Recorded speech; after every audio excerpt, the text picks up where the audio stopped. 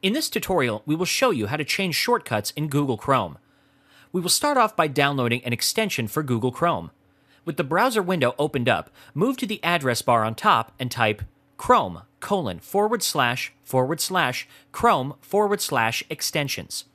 Once the new page opens up, click on the Get More Extensions option at the bottom of the page. This will redirect you to the Google Chrome Web Store.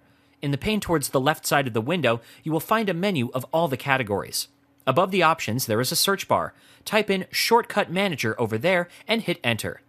From the results, towards the right side of the screen, click on the Add to Chrome button to add the selected extension to the browser. With that done, a notification window will pop up. Over here, you will be given the details regarding the extension. Over here, click on the Add button, and the extension will be installed on the browser.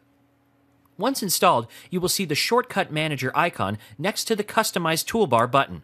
Click on it, and a menu will appear on the screen. Over here, click on the See All Settings, Add New Shortcuts option. With that done, a new tab will open up. In the pane towards the left side of the screen, click on the All Shortcut List option. With that done, a new notification window will open up. Over here, simply click on OK, and a list of shortcuts will appear on your screen. Over here, you can view and edit the shortcuts. For example, here we will edit the shortcut for refreshing the page. To do that, we will click on the edit icon next to the reload option. With that done, two notification windows will be displayed to you, one after the other.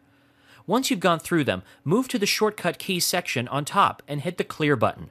Now click on the field and input the new shortcut key. For example, we have used F12 over here. With that done, move to the Actions section below and select the Reload option from the drop down menu. Once done, click on the Save button on top. And that's it. Now, whenever we would want to refresh the page, we will use F12 instead of F5, which was the shortcut key by default.